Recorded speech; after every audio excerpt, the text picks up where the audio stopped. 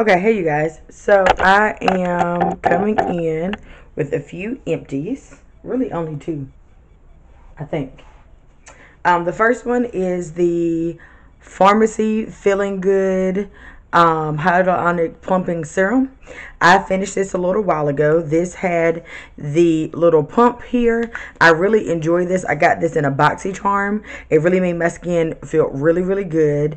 Um, this lasted probably a good two to three months, and I used it at the time. I was using it day and night, and then when I ended up getting some nighttime serum, um, then it was just during the day, but it still lasted very well. Um, I think it's a good product, um, depending on the price point. Um, I can't remember the price point at this point, um, but it's a good purchase. It's it's a good one for me. Now y'all can't even see this wrapper here. This is a perfume that I had gotten in a maybe by probably Ipsy probably. Um, I just squirted the last few squirts on this the other day. This gives you a very floral scent, which is, and I really did enjoy it actually. It really wore, wore well on the skin. Um, and I didn't think I would like it because I'm normally not a floral scent person. But it really smells really clean, really girly, really feminine like. So I really did enjoy this. And for this little spray, it did last quite a while as you can see from the packaging. Also, if you don't know, I have a whole lot of um, fragrances and lotions. So I have to um, have to kind of rotate for so everybody can get a a, a try. Um, so um, that's probably also why this lasted a lot.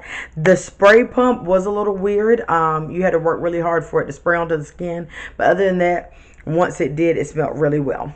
And that's all I got. Talk to you guys later. Thank you for watching today's vlog. Today's vlog is real life, just kind of like spending the day with me. Not a whole lot of action going on, but hope you guys still enjoyed anyway. And I will see you guys tomorrow.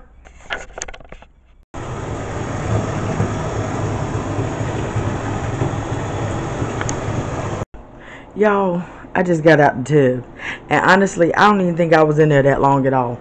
Because I still had suds on me. See, look. But y'all, I was in there sweating. Sweat like I was in a sauna. Comment down below. Do y'all be feeling like y'all on the brink of passing out? And it's funny because my son is asleep. My husband's at work. So if I pass out in this water, who gonna know? Nobody. So I got out. But I was mad because I had a whole vibe. I had spa music on from Pandora. I was reading my book. I think I may have read like six pages. And then I was like, bro, I'm drifting in sweat. Normally, when I was relaxed, when I started smelling my relax, I was like, oop, time to go. But when you natural, there is nothing to smell. So you just in there sweating. So I'm about to take this shower. I'm about to down some water. Do my face mask. We'll do that together. And then finish watching my vlogs. Cause yeah, look at the glisten on me. Look at it. Y'all see that? Can y'all see that? You probably look. See it? See it? Mm-hmm. Sweating.